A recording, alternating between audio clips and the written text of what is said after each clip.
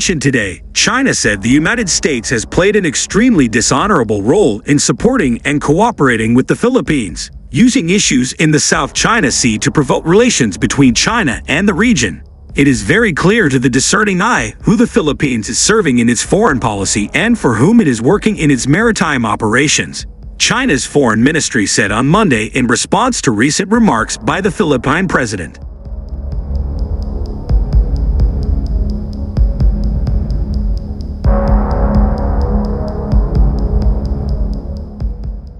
China is willing to continue to work with ASEAN countries, including the Philippines, to manage differences at sea and deepen sea-related cooperation, it said.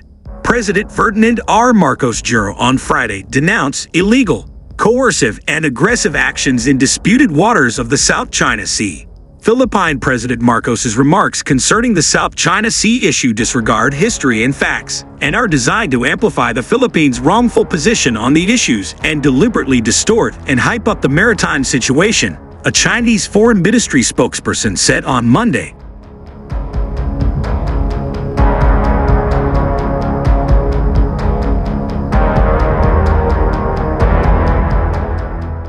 The spokesperson made the remarks when asked to comment on a keynote speech by Philippine President Ferdinand Marcos Jr. at the 21st Shangri-La Dialogue, in which he explained the so-called legal basis for the Philippines' territory and maritime zones, claiming that both the United Nations Convention on the Law of the Sea, UNCLOS, and the 2016 Arbitral Award on the South China Sea affirm its legal right, and that its policy in the South China Sea is built upon these two touchstones the spokesperson introduced China's position.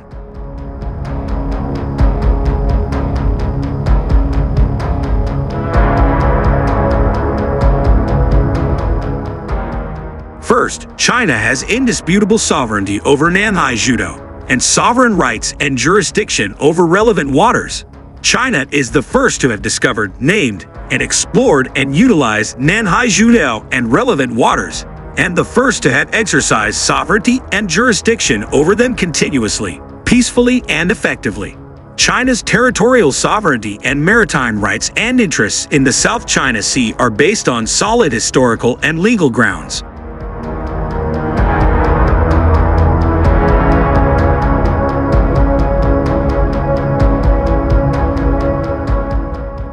China's normal patrol, law enforcement, and productive activities in waters under its own jurisdiction are consistent with international law, including the UN Convention on the Law of the Sea, UNCLOS, and such activities are beyond reproach.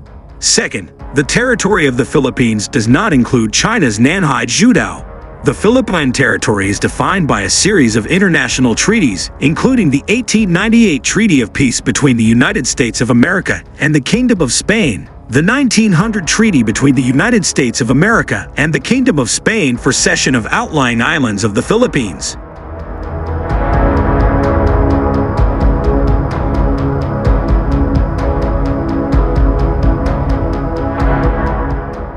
and the 1930 convention between His Majesty in respect of the United Kingdom and the President of the United States regarding the boundary between the state of North Borneo and the Philippine archipelago. China's Nansha Qundao and Huangyan Dao are beyond the limits of the Philippine territory established by the above-mentioned treaties. The Philippines occupied by force some islands and reefs of China's Nansha Qundao and adopted domestic legislation such as the Archipelagic Baselines Law to assert illegal territorial claims on China's Huangyan Dao and some islands and reefs of Nansha Qundao. Those moves seriously violate China's sovereignty and sovereign rights and international law, including the UN Charter. China firmly opposes the moves.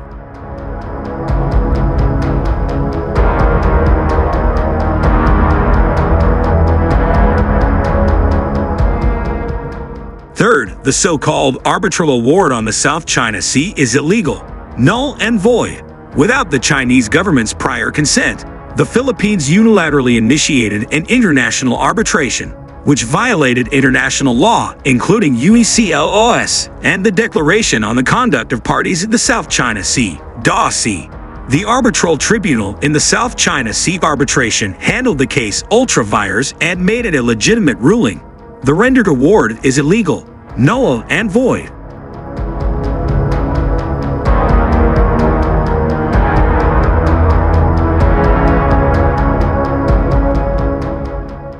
China neither accepts nor participates in that arbitration, neither accepts nor recognizes the award, and will never accept any claim or action arising from the award. China's territorial sovereignty and maritime rights and interests in the South China Sea will not be affected by the award in any way. What the Philippines has been doing to glorify this illegal, invalid arbitral award does not help resolve its maritime disputes with China, still less justify its illegal claims in any way.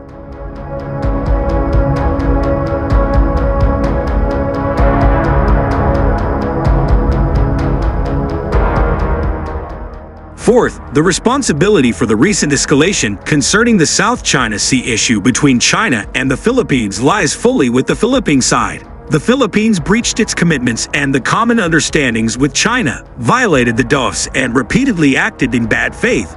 The Philippines frequently infringed on China's rights and made provocations at sea, brought in forces outside the region to form blocks and flex muscles in the South China Sea, and spread disinformation to vilify China and mislead the international perception on this matter.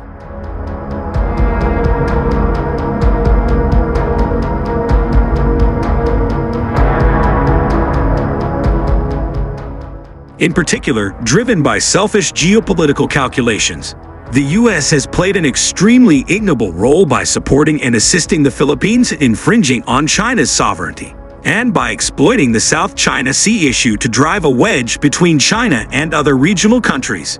Who exactly does the Philippine foreign policy serve now? Whose bidding is the Philippines doing with all these maritime actions?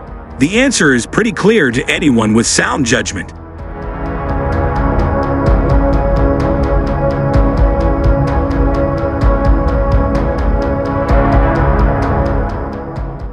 Trying desperately to justify the unjustifiable will not help the Philippines build trust with the international community.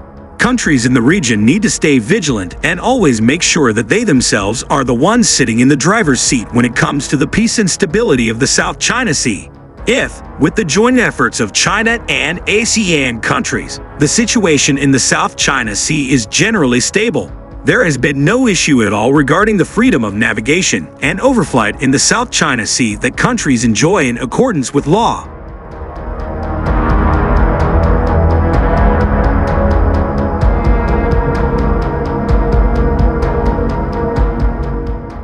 China stands ready to continue working with ASEAN countries, including the Philippines, to manage maritime differences, deepen maritime cooperation, fully and effectively implement the DOS, actively advance the COC consultation, keep the South China Sea peaceful and stable, and ensure that the South China Sea remains a sea of peace, friendship, and cooperation. Sixth, China will continue to firmly defend its territorial sovereignty and maritime interests and rights. Meanwhile, we remain committed to properly handling maritime disputes and differences through negotiation and consultation with countries directly concerned on the basis of respecting historical facts.